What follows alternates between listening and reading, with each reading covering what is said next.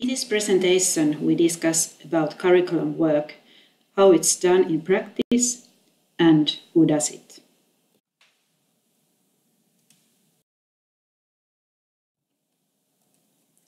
Starting the curriculum work at university level. Curriculum work progresses in stages. From a process point of view, the cycle starts when the vice rector of the university defines the core objectives of the curriculum cycle, which are then concretized into faculties by the dean and the head of academic and students' affairs. Thereafter, the faculty instructs its own departments on the curriculum's emphasis and schedule. Curricular planning is not the responsibility of a single teacher nor only administrative task. Curricula are planned and realized in faculties and units as a teamwork. Curriculum is a process. When a unit starts curriculum work, it is a good practice to first consider the current curriculum and consider what is workable and what is needed to reform.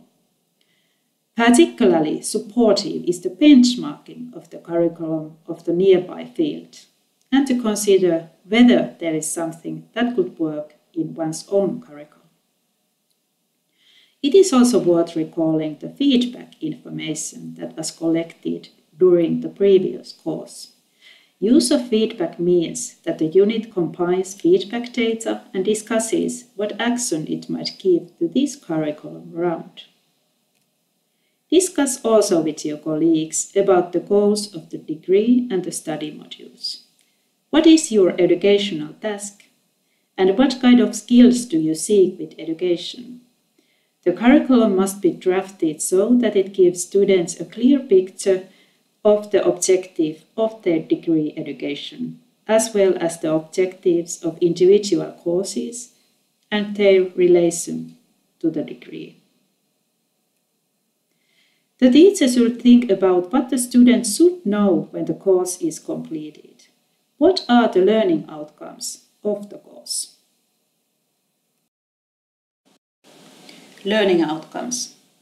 With the help of a clear definition of the learning outcomes, the planning of teaching and learning becomes concrete. A base and tools for personal study plan discussions are created a solid base for evaluating teaching and learning is gained. The student learns to understand and describe his or her own expertise better, and it eases recognition of prior and elsewhere obtained learning. In phase 3, the teacher has to plan the study materials of the course. What kind of themes do you include in the course to reach the learning outcomes of the course? You should also plan the teaching methods. Should the planned teaching methods support the development of the knowledge and skills that are described in the learning outcomes?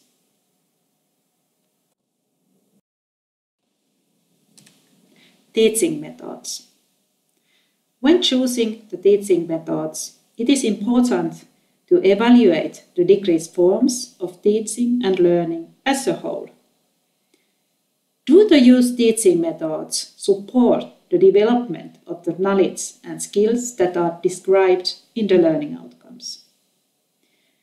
Diverse teaching methods support the development of the student's general working life skills.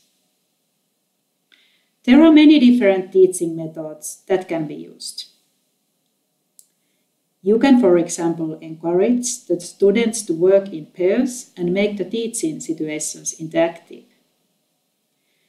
Especially on courses covering familiarization with working life, the guest lectures can be used. The university's alumni are often pleased to come for a visit to their former university. Work in study circles supports independent work skill, gives responsibility for one's own learning, and creates commonality. Remember also the opportunities of educational technology.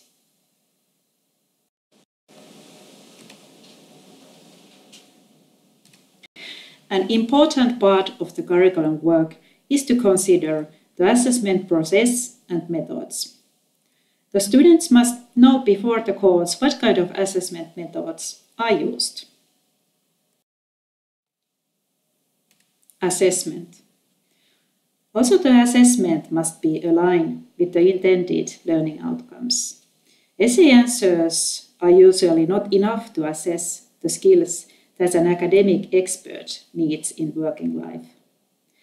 The feedback given to the student is important in the assessment process. A mere grade gives the student quite an unclear perception of what should be improved in his or her performance. Constructive alignment in the curriculum means that the goals, teaching methods, contents of the teaching, materials, assignments done by the students, and assessment of the education are aligned.